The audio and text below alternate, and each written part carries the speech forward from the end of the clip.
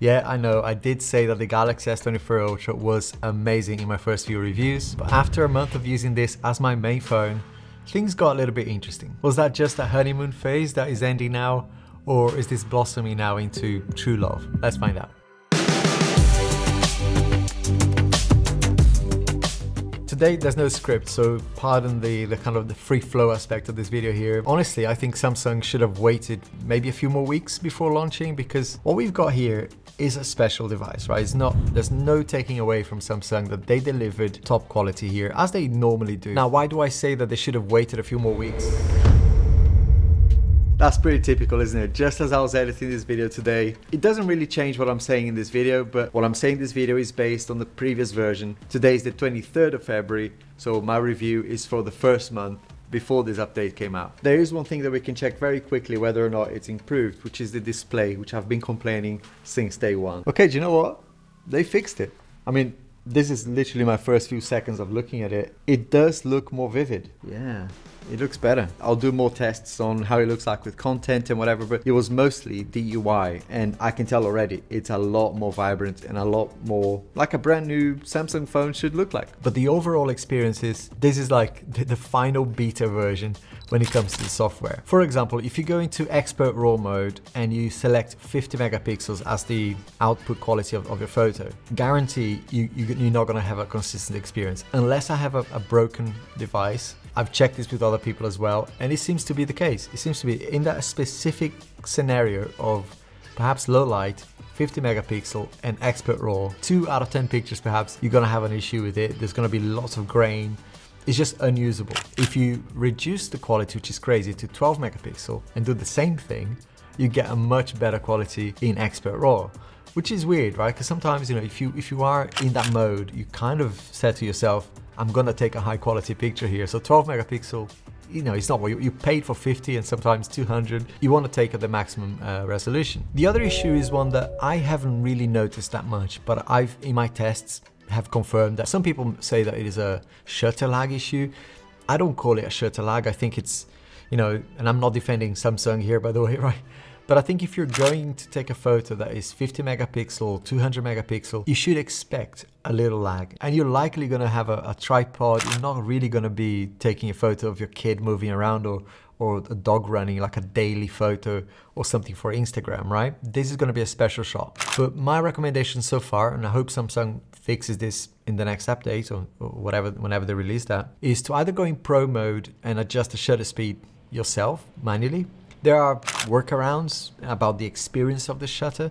I'm not talking about the button just clicking faster. I'm talking about the actual photo coming up, you know, sharp. If you can, keep the phone stable by using a mini tripod or something like that, or adjust the shutter speed using Expert RAW or, or Pro mode on the camera. The other problem I've noticed, and I, and I took a long time to, to report on this because I don't like to say, you know, on the first two weeks that there's an issue with the battery. It has been less performant than my previous S23 Ultra. There are other issues and I promise that I will be talking about positive things as well in a minute, but just to kind of close the loop on a couple of other issues, one is with the durability of it. There is a little nick, I, um, I don't know how I got this scratch, but something accidentally just knocked it. I didn't drop it and it just feels like it scratched too easily. So I definitely recommend at the very least using a skin. I've got a couple here that I'll show you, uh, or definitely a protective case, or both if you want to really go like belt and braces on this. And the final Again, minor issue is the overall design. We're getting a lot in terms of screen real estate. It's a beautiful display for watching content. There's nothing better out there. Very, you know, no distractions almost, and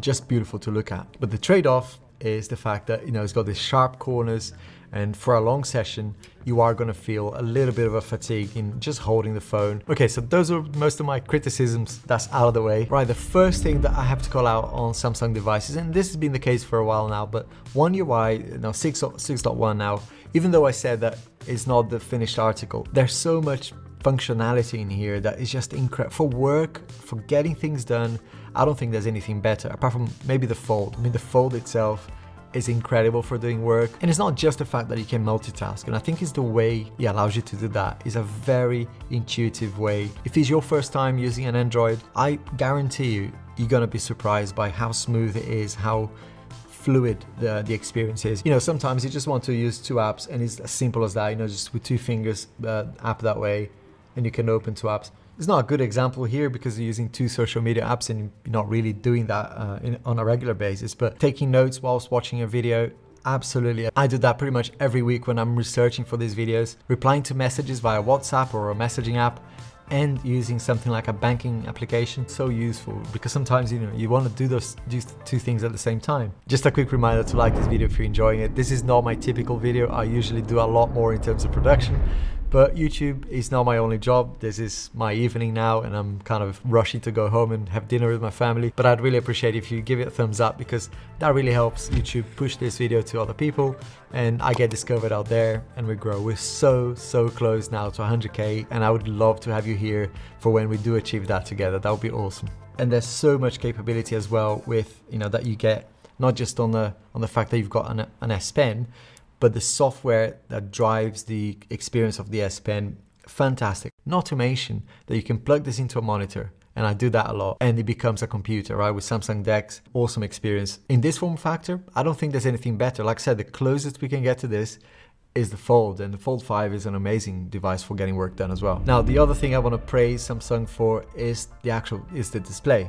You know, taking what I what I said about the colors not being accurate. Oh my gosh. I take it for granted now because I've been using Samsung phones for a while. But since having the S24 Ultra, every time I pick something different, like the Pixel, the even the S23 Ultra here, uh, or the iPhone sometimes, I do notice there's a huge, huge difference, right? And I was like, I need to go back to my S24 Ultra now, you know, because it is it is a beautiful display. And from a performance perspective, I've only noticed this when actually doing these videos, so I'll be honest with you, I don't actually have time to play games and, you know, spend an hour or two a day. But for these videos, you know, over the weekends, you know, when I was testing it and comparing it with the iPhone, I did put this through its paces, you know, doing some racing games, you know, Genshin Impact, which is one that usually gets phones really hot and sometimes, you know, drop frames and things like that. I didn't see any issues here, you know, playing in the max settings, everything was just beautiful really. I gotta be honest though, you know, in comparison with the S23 Ultra, there's not a lot of difference, you know, because if you think about it, there's not much that you, you're doing on the phone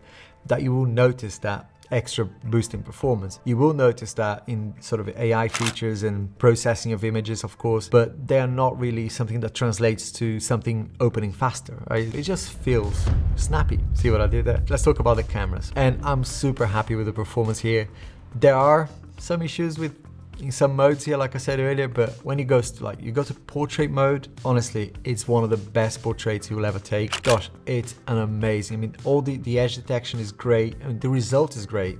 You know, as I mentioned in my previous video, when you look at what he's doing on the viewfinder, you think you've been scammed. You know, it's a really terrible, what you're looking at isn't great, but the result is fantastic. And I think the, the viewfinder issue is something that Samsung could fix by software. I'm not sure. It's not, you know, it's, it's not perfect. My experience with point and shoot photos, I do that every day, take a lot of photos for doing YouTube videos, right? What I did realize about the Pro camera, when you go into the Pro mode, is that it's just being so fun to just learn photography with it. You know, it does open up so many options that you don't see in other devices, apart from this one. This is the Sony Xperia. More on that in a, in a separate video, but I think when it comes to taking pro photos, this is on a completely different level, even to the Samsung. But that aside, you know, when you go to the pro mode in the S24 Ultra, you can do those really cool like star trails, you know, long exposure shots, you know, really fun to use, amazing photographs, you know, from an artistic perspective and like learning photography and learning how to do unique shots. And that goes back to extracting value of something, you know, this expensive. One of the improvements that I don't hear a lot of people talk about is the speakers. It's the first time that I noticed this being, for me anyway,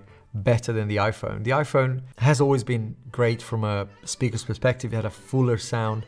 And some people still think that that's the case even now with the 15 Pro Max versus this one. When you're listening to it through the speakers, I do think that Samsung nailed it this time. At least they've improved it a lot. Now, one of the key things about the S24 Ultra is Galaxy AI, right? It was the biggest thing that Samsung leaned into this one in the marketing. At first, I didn't want to get too excited, but I was like, come on, every app now has AI in it, is, is the buzzword in every single industry, right? To do stuff with AI. Being open-minded about AI in here, writing assist, for example, is one of the things that I didn't expect it to use all the time because it's so easy to use, right? It's one button in there, and you, after you type something, you can just press one button and you will come up with this really nice dialogue, really nice animation as well to bring in and lets you choose the tone of the, the text that you want to change to or translate something. That experience, I think I like it more because it's fast. The result is great too, but I do enjoy having a feature that I don't have to dig deep into a menu to go and find. Very intuitively, very in a way Apple-like. Another AI feature is the Gen AI photo editing. This one is a little bit more, you know, you have to go into the photo and edit it and there's a lot more kind of work involved. It's not like you have to open Lightroom or Photoshop. I would say they could improve it in, in the next few versions to say, you know, perhaps when we do edit something, give us maybe two or three options to, to choose from. Adding things allow you to, for example, say add a, a blue sky or, or change the, the way, you know, this particular object looks or, or completely replace the object with something completely different. I think that's going to be the next uh, level. Now, circle to search was probably the one that, for me, it's a nice thing to have. It's nice to know it's there. I've used it maybe once as a real like use case. Like I saw a shirt and I was like, okay, what is that? But it's not something that I would go out of my way to to use it. Or now using this phone in social media is something that I always forget to mention, right? But because it's so good now, I'm I'm actually being more inclined to use this phone for things like Instagram, uh, Snapchat. The front-facing camera, I've got to be honest, it does suck. It's it's not stable at all. But I still think like pre-recording something if you can uh, is still a much better experience. And sometimes you can, for example, choose you know, to record two videos at the same time using dual recording. And that is a, a, hidden gem that not many people are talking about either. You can almost make it look like you, have got multi cameras. The ideas can be quite creative in that space. Talking about creativity, one thing that, I, you know, in my use case here of, of running this channel, I do sometimes need to record, you know, away from the phone and it's nice to kind of walk around and show things to the camera. And the audio in that case is not really going to be great because you're moving away from, from the microphone. And that's where today's sponsors Hollyland come in.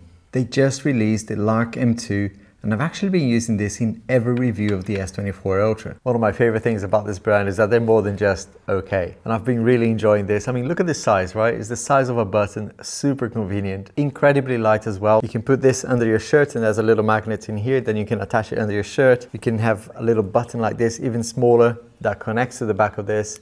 You can clip it, which is what I'm doing here like my shirt, you can just clip it there. I've used microphones as well, that sometimes, you know, depending on the shirt that you're wearing, they end up getting, you know, a bit droopy and even pointing at a different direction and making the sound, you know, a little bit inconsistent. I'm using the Lark M2 with this camera now, my professional camera, but for my S24 Ultra videos, I've actually been using this receiver on the phone. You connect it via USB-C, you can show something different to your audience without worrying too much about the audio quality, which is really good. And the cool thing about using it with the smartphone, if you install the Lark Sound uh, companion app, you can then double tap this yellow button here the, on the transmitter, and that will start and stop the recording of the video as well, which again helps a ton with you not having to touch the phone to start or stop the recording. And what I found really useful is that you can adjust the noise level cancellation as well through the app. And every space is different, so it's really cool to have that feature. It comes with a really nice charging case as well, so as soon as you put it away, it starts charging. And the battery life is fantastic as well, so you can do your vlogs without worrying about the battery life. And because it's so tiny and light, you can really get creative with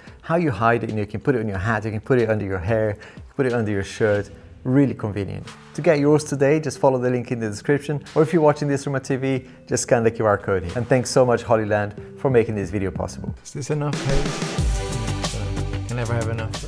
Now, one of the big questions that you might be asking right now is, should I get one? I think if you had enough of iPhones, this will be an amazing first Android or, or, an amazing way to get back into Android if that's your case, because you are going to enjoy the experience. It's such a smooth, very you know, high performance phone and the display like I said, there's nothing like it at the moment. But if you're coming in from something like a Fold 5 or an S23 Ultra, right, the newer iPhones, even like the iPhone 14 Pro Max, the 15 Pro Max, I think it's going to be very difficult for you to see a lot of benefits. There's some really cool different things, some improvements, but they're not worth an upgrade if you're coming from those devices unless you're getting a really decent deal uh, with your provider. I think for example for Fold 5 users it would be very difficult to recommend this you know because Fold 6 is really nearly here and I think you know on your trade-in and things like that you might be able to get Fold 6 because that promises to be an amazing phone and I will be talking about that very soon as well. For S23 Ultra users I'd say yeah, only upgrade it if you're not losing money on, on the exchange. Uh, same for iPhone 14 and 15 users. Those iPhones are great. You know, there's really not much else uh, in here apart from from a productivity perspective, if you want to be more productive with your phone, that's a good point actually, then absolutely you are going to see a difference here. And sometimes, you know, losing $100, $200 is not so much of a loss, right? You are getting a lot more here in that scenario. But if you're just a regular user, you're kind of using the cameras and browsing content on online, you know, there's not really much in here that you don't get on the iPhone, and the newer ones anyway. The story is different if you want to be productive with it. Okay, maybe too much. Talking about productive, I've got to go now. This video over here was basically a movie that I did comparing all of these phones, and I hope to see you there. If you've seen that one already, YouTube thinks you're gonna like this one as well. I hope to see you soon. Cheers.